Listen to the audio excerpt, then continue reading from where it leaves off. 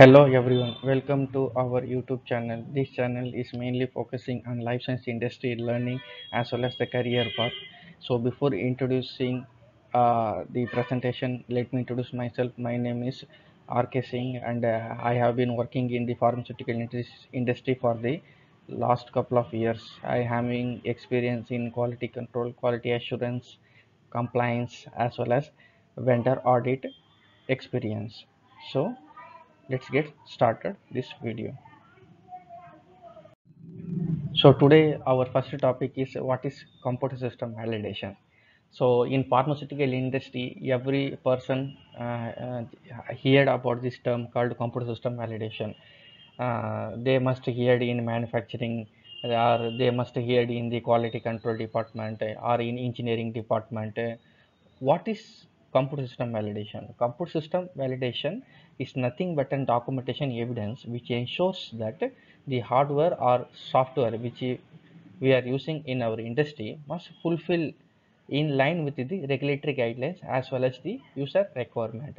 So this line states that computer system validation is nothing but producing a documentation evidence uh, in which the hardware uh, or software which we are using that must be fulfilled with the regulatory guidelines and it also must fulfill the user requirement. So in simple term uh, how, how can i say is that uh, the i'm i'm having one particular software. That software for the software i'm going to perform the computer system validation. So uh, the csv engineer or csv team must uh, perform the computer system validation and they are producing the documentation evidence. That documentation evidence states that that software is working fine and it having no gaps no loopholes and it must be and this software is properly comply with the regulatory guidelines as well as the user requirements. As per the user requirement the software is working fine and it also meet the regulatory compliance. So that is called the computer system validation so people will ask what are the regulatory guidelines? So regulatory guidelines is nothing but it must uh, fulfill the regulatory guidelines. In simple terms the for example you if you, your company is an uh, fda approved company let us take uh, your company is an fda approved company.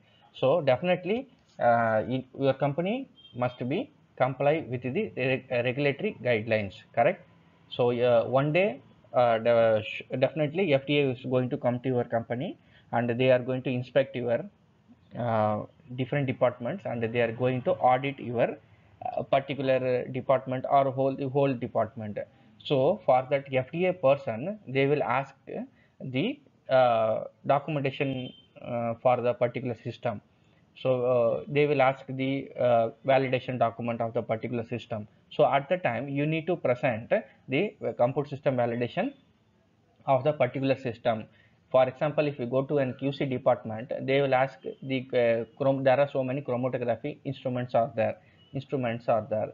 So for the particular chromatography instrument, uh, the FDA will ask the computer system validation document of the particular chromatography instrument. So at the time you need to present this computer system validation document. That is nothing but this documentation evidence we are going to present to FDA.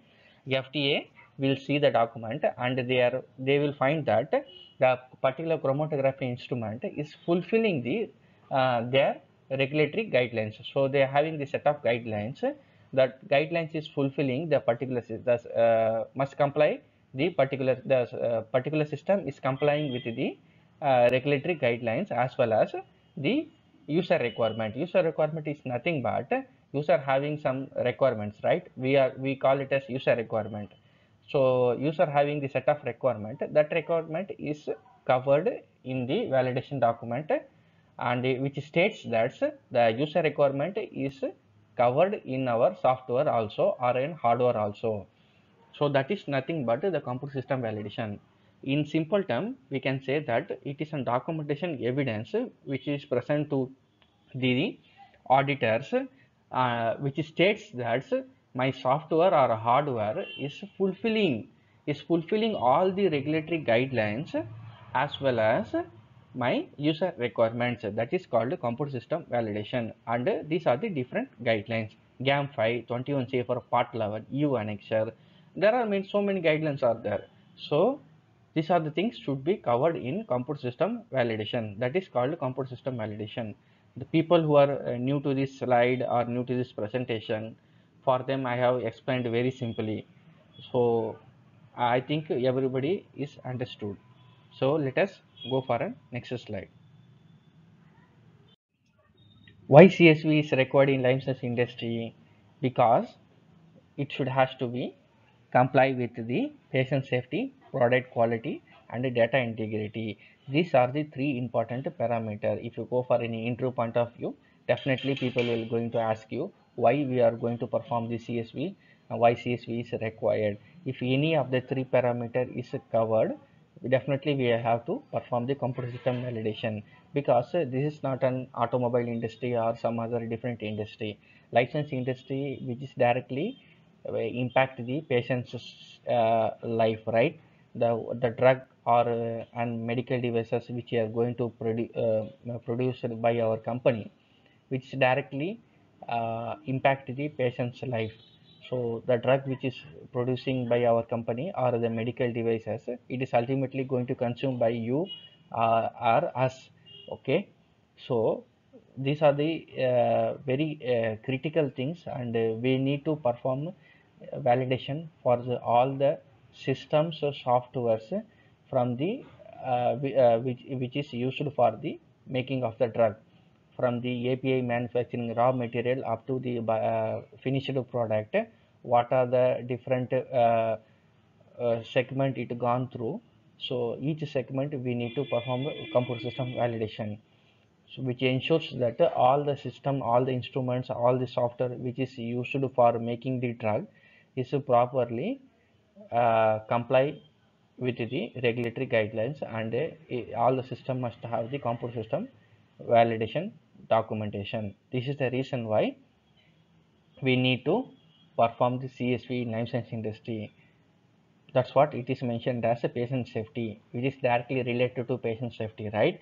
Our drug or and medical devices which is directly related to patient safety if it is related to patient safety definitely we have to go for a computer system validation. And also it is directly related to product quality. The product which you are making that product quality is also depends on our validation activity as well as data integrity. So these are the three important parameters uh, and it also very important in uh, for interview point of view who are going for a life science industry job. So csv must required if any of the parameter is covered. So let us go for next slide. Difference between computer uh, system and computerized system validation. So what is uh, computer system validation and computerized system validation? Some people ask sir it is both are same only. No no my dear friend they are different parameters. There are different things.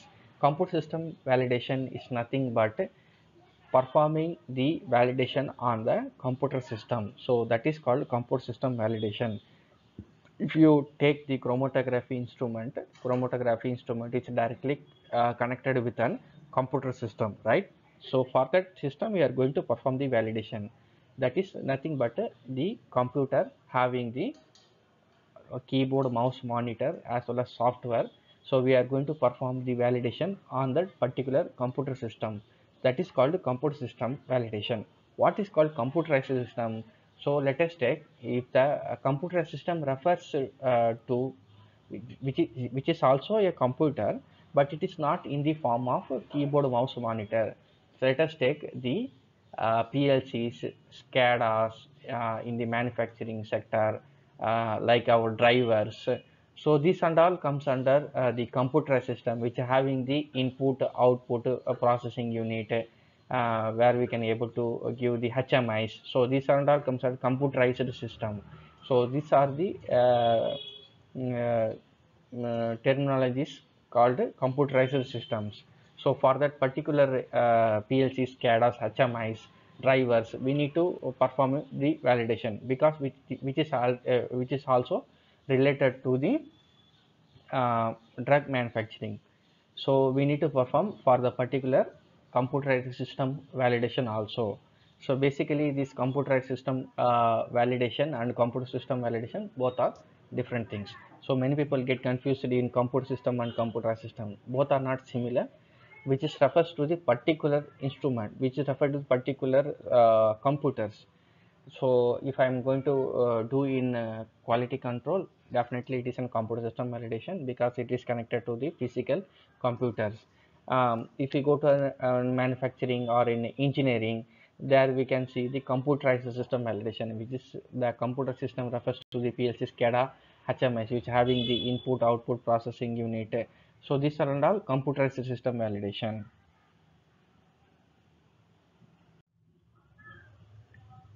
so for this uh, session we are going to end up to here in the upcoming next section we are going to see uh, what is GAMPI and uh, what, what are the different categories in GAMPI and importance of GAMPI and uh, guidelines of GAMPI.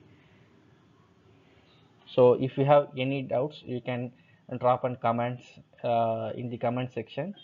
I will answer to each and every one and uh, if you get more clarity you can uh, mention your queries on the comment section so that I can uh, I mean be able to develop myself in the upcoming presentation so that I can be able to give more clarity on this upcoming slides or upcoming videos. Thank you so much. Thank you everyone